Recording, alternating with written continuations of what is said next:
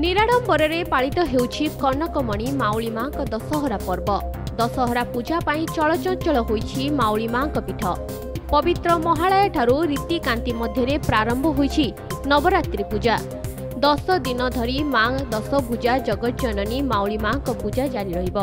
ଅନ୍ୟପକ୍ଷରେ ତନ୍ତ୍ର ଉକ୍ତିରେ କହିବାକୁ ଗଲେ ଦଶ ମହାବିଦ୍ୟା ପୂଜା ଯଥା ଦଶହରା ପୂଜା ଜାରି ରହିବ।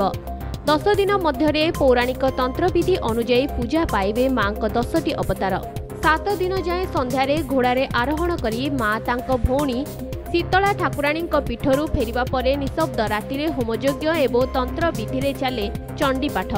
ବିଜୟା ଦଶମୀ ଦିନରେ ମା ବିମାନ ଆରୋହଣ କରି କୋଟପାଡ଼ ସହର ପରିକ୍ରମା କରି ଦଶହରା ପଡ଼ିଆରେ ଅବତରଣ କରନ୍ତି। ଭକ୍ତ ଶରଣାର୍ଥୀଙ୍କ ଜଣାଣ ଶୁଣିବା ପରେ ରାତ୍ରରେ ମା ପୁଣି ଫେରିଯାଆନ୍ତି ତାଙ୍କ ମନ୍ଦିରକୁ। କନକମଣି ମାଉଳି ମାଙ୍କ ନବରାତ୍ରର ପ୍ରଥମ ଦିବସରେ ଭକ୍ତଙ୍କ ମେଳରେ ରାଜ୍ୟ ହସ୍ତତନ୍ତ ଓ ବୟନଶିଳ୍ପ ମନ୍ତ୍ରୀଙ୍କ ଉପସ୍ଥିତି ଦେଖିବାକୁ ମିଳିଥିଲା। ମାଙ୍କ ପୀଠରେ ଅଖଣ୍ଡ ଦୀପ ପ୍ରଜ୍ୱଳନ କରି ମାଙ୍କ ପାଖରେ ମନସ୍କାମନା କରିଥିଲେ ମନ୍ତ୍ରୀ।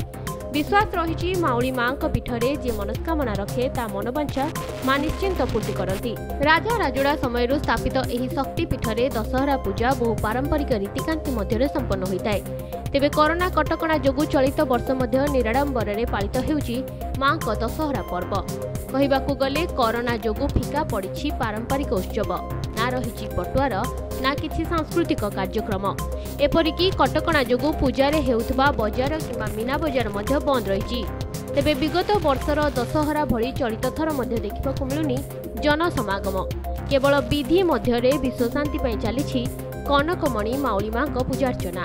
कोटपाडरो सुनील दास को report free to speak dot in